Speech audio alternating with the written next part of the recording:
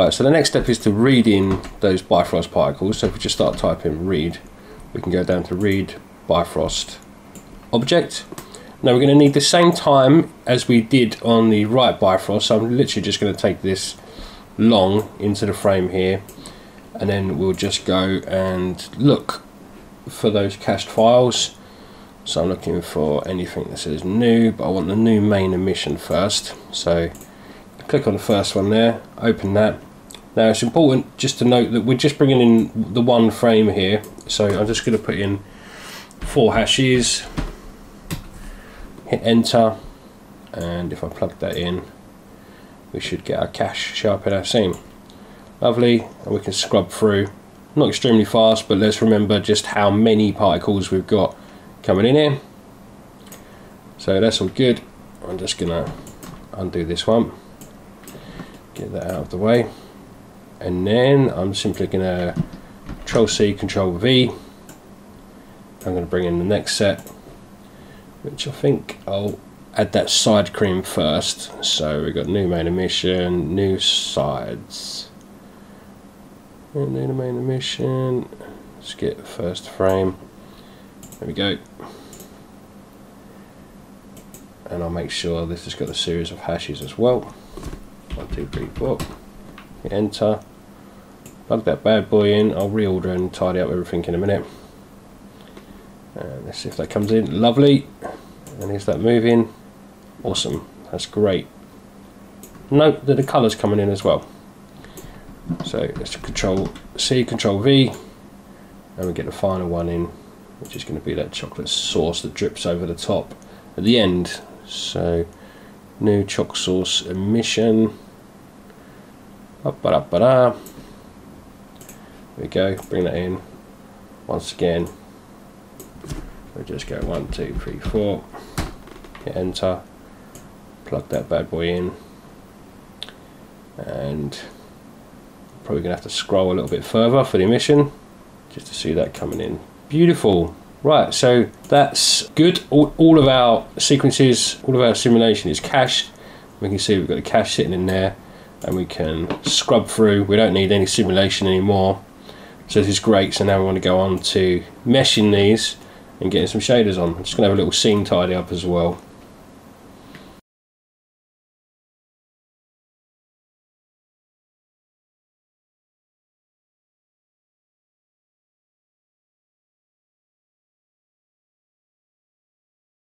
First thing we want to do is we want to do a points to level set. Points to level set. That just gives us a bit more performance over uh, points to volume. So points to level set. And between level set and any kind of meshing that we're going to do, I'm going to put down a smooth voxel property. That's just going to help us smooth out some of the details by using uh, a Gaussian attribute that's that's part of this node and in here we're just going to type in voxel signed distance that's the property we need to smooth out and then I'm going to do a volume to mesh okay I've got a standard surface material down here that I brought in just now um, let's just do assign material. Let's get rid of that actually. start that again. And just plug this into uh, geometry and I'm going to put in a standard surface material. Color wise, let's just pick something chocolatey that we're happy with. Just go with something coffee-ish at the moment. Right, so I'm going to output this, this mesh that's coming straight from the Bob files. We can see that it looks a real mess at the moment. That's because we've got no real resolution in there. So what I personally like to do is to connect the points themselves directly from the cache because then this gives me a good indication of where I want my mesh to be. So the, those points pop in and we can see that our mesh is nowhere near uh, where our points need to be. So detail size is where we're going to be able to kind of sort of start pulling that mesh out. So detail size I'm going to start with 0.01 and just see where that pops out to. We can start to see the mesh popping out to there but again like it's, it's not where I want it to be. So I'm going to take it down to about 0.08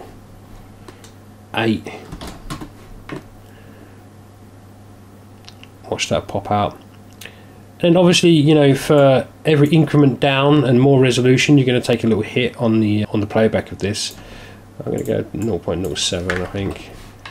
See if we can't just pull that out a bit more. Yeah and it's going to be uh, it's, it's going to be like an, a playoff between you know seeing all of these points and the kind of bumps and stuff like that to you know the general shape. And I think the general shape is pretty much there I might just go down another point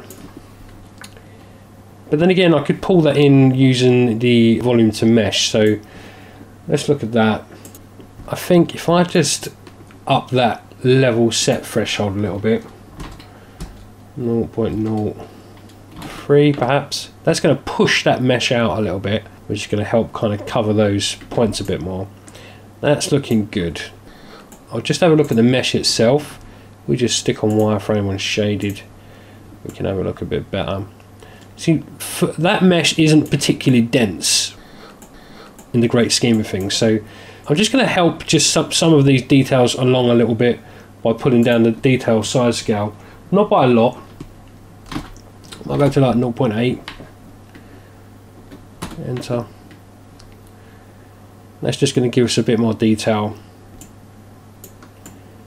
Right, so probably what I'll do now is disconnect these points. Just take that wireframe shading off. And then I'm just going to dial in this smooth voxel property a little bit. I'm just going to put two in the filter width and that's going to kind of spread that Gaussian blur out a little bit more and I'm going to put two in the deviation let's just have a little look at how that looks. Yeah, let's just kind of smoothed it out a bit. We're going to kind of be rendering from back here. I think that's nice. It's a, it's a, it's a trade-off between too much detail and not enough detail. Too much detail is going obviously going to give us the, you know, we're going to start seeing points, which we don't want to do. But I'm happy with that. I'm happy with that. It just gives me enough detail that I'm kind of happy that it's kind of creamy, kind of clumpy in areas. That's all good.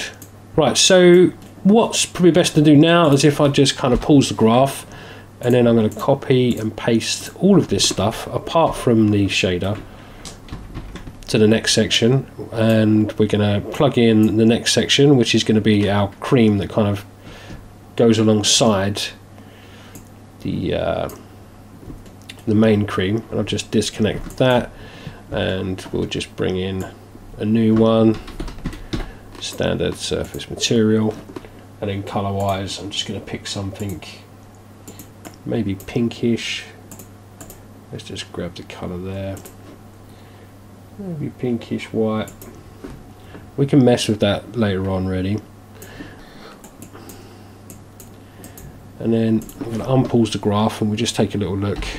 Again doing the same thing just bringing those points in and just having a little look at what we got. So right now we're just waiting for everything to load in. As it stands right off the bat you know, that kind of that cream there looks okay, but I'll just pull in the points just to make sure I've got what I want. And we'll just zoom in and have a little look. Because we kind of want this cream to be tight up against the rest of it. Yeah, I can see I can see the points there, but I can see that mesh is perfect. It's just perfectly on top of where I want it to be. Maybe the res is a bit high for this. We could just knock it up a little bit. 0.9 let's just watch that change slightly. Okay and then I'm just going to do the same with the chocolate. So let's pause. Let's get rid of those points. And then let's select all of these. Control C control V up here. We'll tidy all this up in a bit just drag in this new cache kill this and I'm just going to put down a new standard surface material And this, we want this to be this kind of dark chocolate colour. So I'm just going to select something dark and chocolatey. Cool, that'll do. And I'm going to sort of forward to near to the end of the simulation so we load in a decent part of where that chocolate falls. And let's just unpause the graph. What I should have done was plugged in the cache for that, but you know, I'll do it in a second.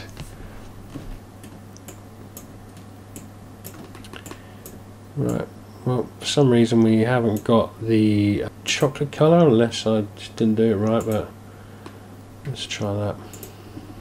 See if I can get that colour to turn up how I want it. There we go, right, so now I'm just going to pull in that cache into the output, just have a look at those points for this chocolate. But it's looking really good, just, just by looking at it, to be honest. But we'll have a little look. So there's certain points that I don't want. So this is kind of working, you know, I don't really want to be picking up these down here. And these here, again, there's not much detail there, so I wouldn't really want the mesh there. So yeah, this is looking pretty good actually, just as it stands. Well, what do you know? Okay, so let's just get rid of that, and I'm just going to pull back, and we're going to do a play blast, which may take a little while, just because we're loading in quite a lot of polys at the moment. But yeah, I'm loving the look of this. Looks really cool. We'll just do a play blast. Just going to save this. Let's go window, play blast. Okay, this is looking great. I'm really happy with this. There's just one bit I'm not so happy with. It's just when the chocolate pours at the end here. Right about there, there's some kind of like tearing going on. Now imagine that's just where we just we just haven't got enough either enough detail in, in the mesh or we could pull it back a bit to sort of not worry so much about those particles that are going on there. Yeah, let's just have a little look. Let's see what's what, what's occurring up here. So I'm just going to plug in those particles and we'll just get a better understanding of what's happening. So just pull those particles out from that cache. They'll load in. Alright, yeah, so it's as I thought, there's just not enough particle information there for me to sort of worry so much about this area. I think what I might do is just push the mesh back a little bit. Maybe try and pull away from some of that detail. So we'll just give it another smooth. But that's going to be like an overall smooth. So let's just see if the level set threshold, just kind of pushing that out a bit more, will help us in this instance. So I'll just go to 0.004. It might just bring the chocolate up over this area and just help us when that mesh starts to go a bit crazy. Alright, that looks okay. So if we just pull the animation back to when that mesh starts to go a bit crazy, and we can have a little look, see what's happening.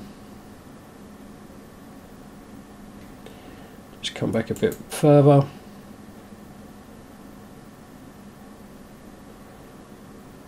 It may be that we've fixed it with that little push out. That does look better.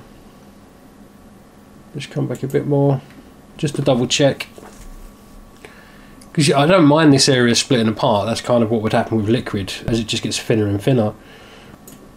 But yeah, I think I think we've fixed that just by doing that.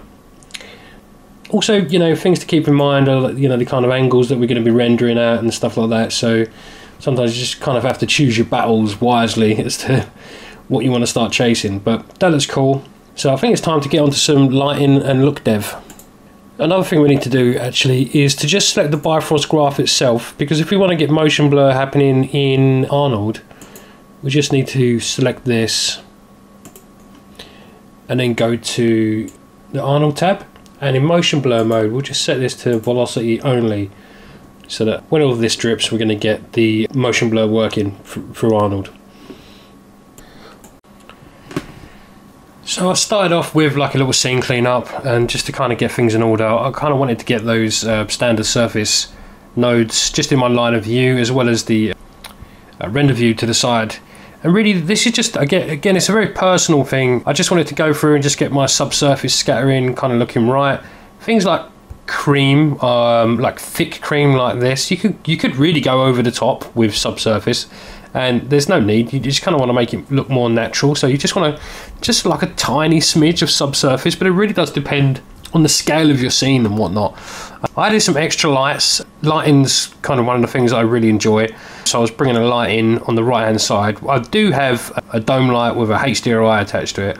But also one of the important things about lighting sometimes is just to get a little rim light going. So I just had a little light on the back. That just really helped. Again, as I said, all of this is personal preference. But you know, I just went on to create uh, three different cameras. I just sort of placed them around the scene I was a bit lazy. I didn't bother rendering out the uh, depth maps and stuff like that. I just did kind of in camera depth blur, which is another thing that makes Arnold renders look amazing. But as I said before, that because we're dealing with cache, you should be able to use this in your preferred renderer. But obviously, we love a bit of Arnold this end. but uh, yeah, hope you enjoyed it.